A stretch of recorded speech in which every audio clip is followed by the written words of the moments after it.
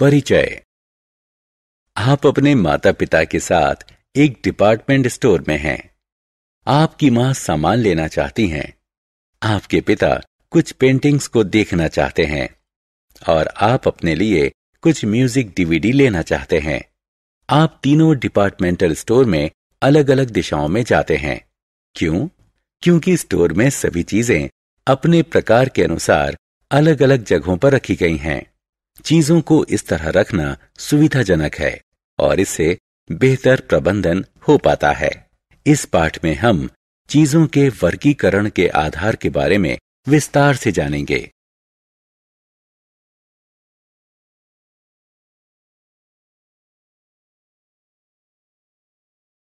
उद्देश्य। इस पाठ के अंत में आप निम्न करने में सक्षम हो जाएँगे। चीज़ों को उनके आकार के आधार पर छांटना। चीज़ों को उनकी स्थिति के आधार पर छांटना। चीज़ों को बनाने में जो कच्चा माल इस्तेमाल किया जाता है, उसके आधार पर छांटना। ये समझना कि चीज़ों को छांटना क्यों ज़रूरी है।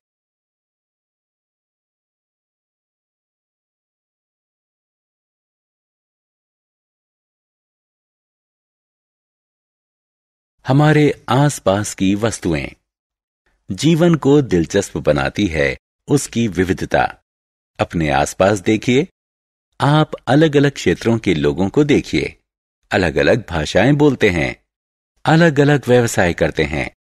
अलग अलग तरह का खाना खाते हैं और अलग अलग पसंद रखते हैं। लेकिन इतना ही नहीं, हम अपनी ज़िंदगी में जो भी चीज़ें इस्तेमाल करते हैं, उन सभी में विविधता होती है। हम जो कपड़े पहनते हैं, वो अलग अलग रंगों के होते हैं, जैसे कि लाल, हरा, पीला, नीला इत्यादि। जो पात्र हम सामान रखने के लिए उपयोग करते हैं, उनके आकार में भी अंतर है। वे शंकु के आकार के, बेलनाकार और घन के आकार के होते हैं इत्यादि। हम जो सोफा और डाइनिंग टेबल अपने घर में इस्तेमाल करते हैं, वो लकड़ी या प्लास्टिक के बने होते हैं।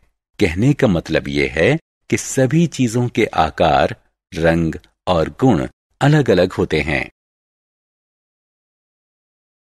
हमारे आसपास की वस्तुएँ। सभी वस्तुएँ एक या एक से अधिक चीज़ों से बनती हैं। कपड़ों को सूत, लिनेन, जूट और नायलॉन आदि से बनाया जाता है।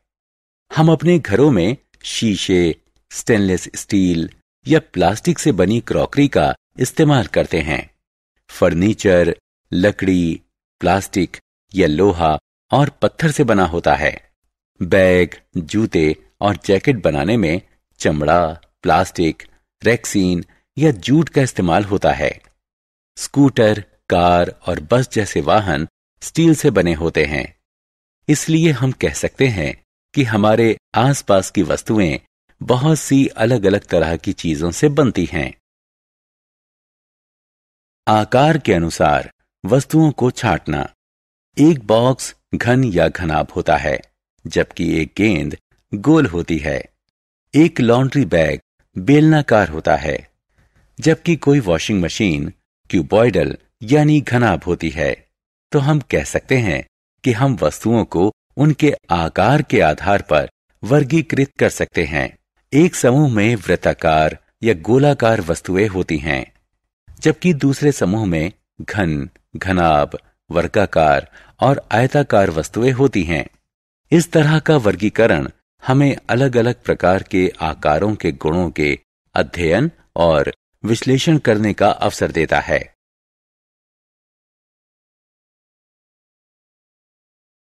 चीज़ों को उनमें इस्तेमाल हुए कच्चे माल के अनुसार छाटें। जैसे ही आप सोकर उठते हैं, सबसे पहले अपने टूथब्रश का उपयोग करते हैं। क्या आपने कभी सोचा है कि ये किस चीज़ का बना होता है? जी हाँ, ये प्लास्टिक का बना होता है। जिस प्लेट में आप नाश्ता करते हैं, वो मेलामाइन या स्टेनलेस स्टील की बनी होती है। जिस कपबोर्ड में आप अपनी किताबें या कपड़े रखते हैं, वो लोहे या लकड़ी से बना होता है। जो किताबें आप पढ़ते हैं, वो कागज़ से बनी होती हैं। जो जूते आप पहनते हैं, वो चमड़े, कैनवस या रैक्सीन से बने होते हैं। इस प्रकार हम रोज़मर्रा की अपनी ज़िंदगी में जिन वस्तुओं को इस्तेमाल करते हैं, उन्हें उस कच्चे माल के आधार पर वर्गीकृत किया जा सकता है, जो उन्हें बनाने में इस्तेमाल होता है।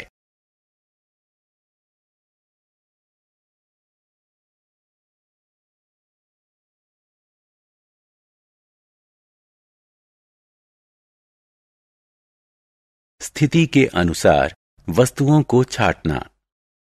जो पानी आप अपनी प्यास बुझाने के लिए पीते हैं, वो तरल है, जबकि आप जो खाना खाते हैं, वो ठोस है।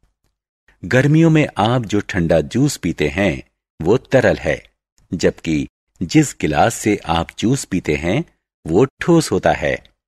सर्दियों में आप जिस गर्म दूध का आनंद लेते हैं, वो तरल है, जबकि जो भाप दूध से निकलती है, वो गैस है। तो यह स्पष्ट है कि जो वस्तुएँ हम अपने आसपास देखते हैं या रोज़मर्रा की ज़िंदगी में उपयोग करते हैं, उनको तीन श्रेणियों में वर्गीकृत किया जा सकता है, ठोस, तरल और गैस।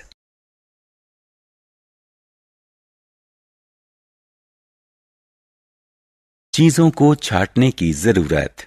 हम चीज़ों यानी सामग्रियों को वर्गीकृत करने के लिए अलग अलग आधारों की मदद लेते रहे हैं। क्या आपने कभी सोचा कि ऐसा वर्गीकरण महत्वपूर्ण क्यों होता है? हमारी रोज़मर्रा की ज़िंदगी में हमारा सामना बहुत सी चीज़ों से होता है।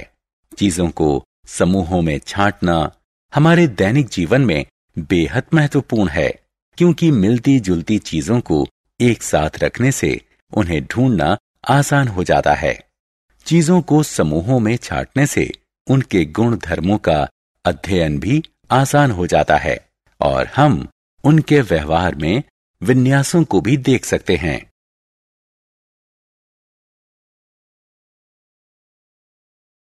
सारांश। आइए हमने जो कुछ सीखा है, उसे संक्षेप में दोहराएँ। हमारे आसपास मौजूद चीज़ें अलग अलग आकारों रंगों और स्थितियों में होती हैं। चीज़ें अलग अलग सामग्रियों से बनी होती हैं। चीज़ों को उनके आकार और रंग के आधार पर वर्गीकृत किया जा सकता है। उन्हें वस्तु की स्थिति के आधार पर वर्गीकृत किया जा सकता है। इसके अतिरिक्त, चीज़ों को बनाने में जिस कच्चे माल का इस्तेमाल होता है, उसके आधार पर भी उनका वर्गीकरण किया जा सकता है। चीज़ों को छाटने से हम उनको आसानी से ढूंढ सकते हैं। चीज़ों को छाटने से हम उनके गुण धर्मों का भी अध्ययन कर सकते हैं।